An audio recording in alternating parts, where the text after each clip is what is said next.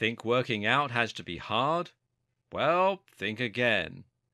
HIIT workouts appear to do the impossible by helping you burn more calories than a 40 minute run in a quarter of the time.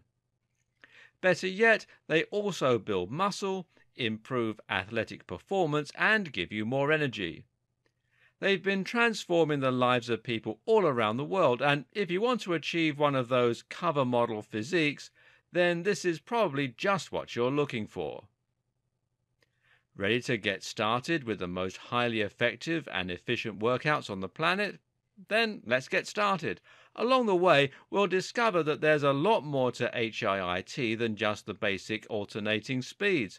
We'll learn some advanced techniques like cardio acceleration, fartlek training, speed drills, concurrent training, metacon, Tabata, finishers, and more.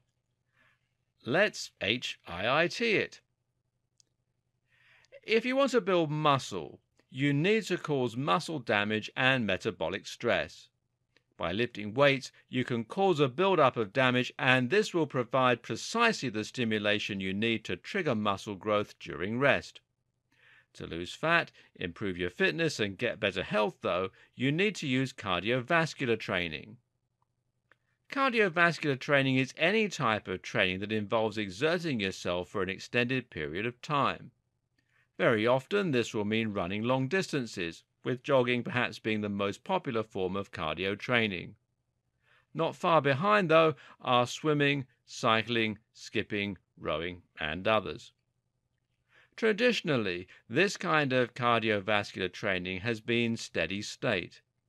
That means you put on your running shoes, you step out the door, and you run for about 40 to 60 minutes. It's steady state because you're maintaining a steady level of exertion throughout the course of the exercise. In this case, you're jogging at a set pace and then maintaining that pace. For a long time, this was thought to be the very best way to burn the maximum number of calories and to improve fitness. There was a good theory behind why this should be the case. Specifically, it was thought that there was an optimal fat burning zone and that this could be found at roughly 70% of your maximum heart rate. This makes sense in theory, seeing as faster than 70% of your MHR will put you past your anaerobic threshold. In other words, you will be running so fast that you wouldn't be able to rely on your aerobic energy system for fuel.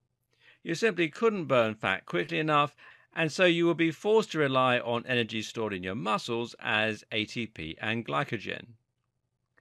It would appear to make sense then that running at 70% of your MHR and maintaining the maximum pace at which the body burns fat should result in the maximum weight loss.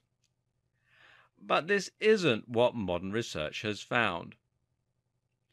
HIIT stands for High Intensity Interval Training and it completely turns this concept on its head. In HIIT, you actually alternate between bursts of intense exertion, such as sprinting, and periods of relatively low intensity exercise, like jogging or power walking. This way, you are switching from your anaerobic energy system to your aerobic system and back switching between burning energy stored in your blood and muscles and energy stored as fat. But what makes this so effective is what happens after the anaerobic training. When you exert yourself maximally by sprinting or exercising otherwise at 100%, you can deplete any energy that might have been available from sources other than fat. This means your body can only burn fat for energy. You know, there's no other option remaining. Thus, you will then burn even more fat during the aerobic portions of the exercise. And when you finish and go home, you will continue to burn fat stores because you'll be low on stored glycogen. This is what some people refer to as the afterburn effect, and it means that after an intensive session of HIIT, you can continue to burn more calories for the entire remainder of the day. For more free educational content, visit learnforfree.biz. Content produced and distributed by AllSuperInfo.